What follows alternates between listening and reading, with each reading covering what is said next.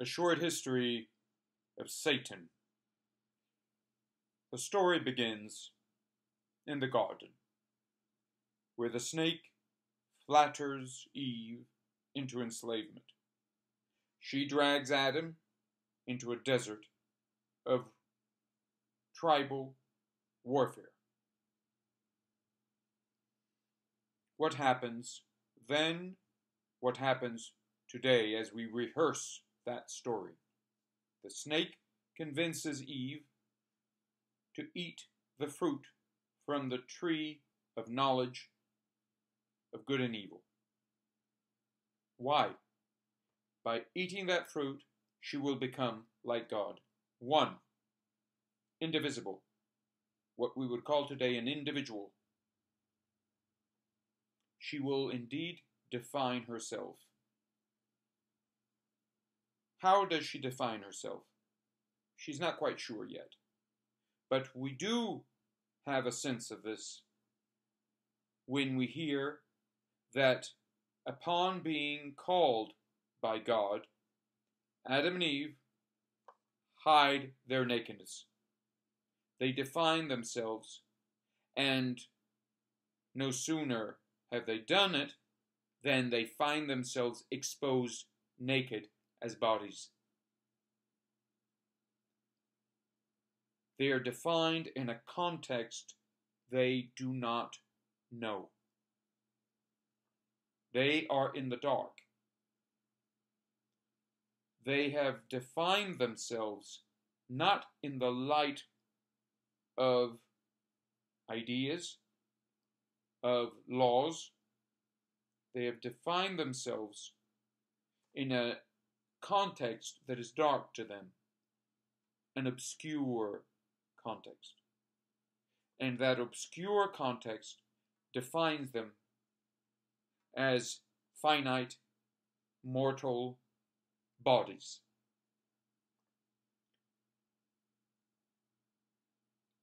Today's upbringing is by and large rehearsing the narrative of the snake. Schools treat students as bodies. Sure, endowed with some kind of mind, which tends to be read in terms of brain.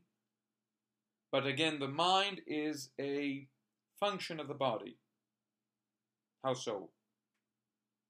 Freedom, the freedom of the body to do things, to go out, to climb mountains, is seen as the crux of education. What are we to do? Seek jobs, be successful. In any case, cater to the body. Identify ourselves. I identify as X, Y, and Z, so we choose our identity. This is a rehearsal of the lesson taught by the snake in the Garden of Eden. What is the alternative to this satanic lesson? In this short history, very short history of Satan, we see that there is continuity. The key to this history that is being repeated as we speak, as we hear today, is rebellion, is betrayal. Rebellion is grounded in an act of betrayal. What are we betraying? Our mandate. What is our mandate as human beings? The classics speak in terms of heroism. Man, as man, is called to be a hero. What is a hero? A mediator between the body and the mind. How is that possible? The snake tells us that to be a hero is ridiculous. You're either a slave or you're the master. You define yourself. And so he invites Eve, and through Eve, Adam, to leap to the throne of mastery. We are to be the masters, not the mediators, not the heroic mediators between the body and the mind, between finitude and infinity, but the masters. And what is the result? The result is that in leaping, we define ourselves in a context that we do not know and cannot know as leapers, and indeed we fall back into radical finitude. We see ourselves now as bodies trapped in a world devoid of God, devoid of divine providence. We're in a desert. And what do we do as bodies in an environment that is obscure to us? We struggle. We struggle for survival. We fight. Hence, the tribal warfare that Adam and Eve face upon identifying themselves. They abandon the garden, they can no longer be in that garden. They end up in a desert where there is little that escapes tribal warfare. This is the situation we're in today. Why are we repeating the story? Why are we rehearsing it? Did we not have a modern revolution that invited emancipation, universal emancipation?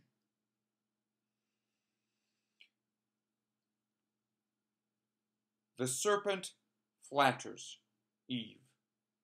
He tells her that she will be free from subjection to authority, to masters. She will be as we are supposed to be as modern men, universally free. That doesn't happen. The promise is not kept. Why? He sells Eve empty words, no commitment to them, empty promises. He doesn't even show himself. He speaks in the penumbra, the dark. His words are borrowed. They're echoes, one might say, of God's words. God speaks from without the garden. In the dark for Adam and Eve. Nevertheless, they have access to that darkness through the names, the laws. Adam is there to partake in God's jurisprudence, in God's legislation. He gives names as well.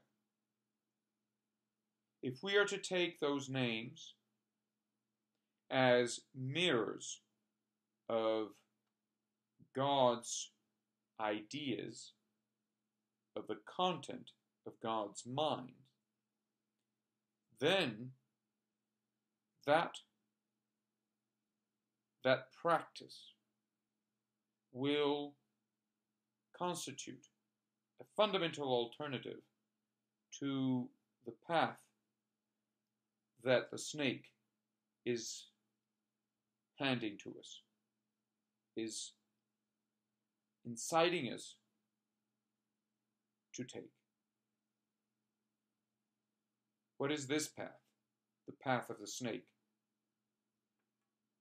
The word is uprooted from God. It is something that you take, that you extract, that you cut off from what is alive, the knowledge that is rooted directly in the mind of God. The fruit of the tree of knowledge of good and evil is taken off the tree and eaten by Adam and Eve.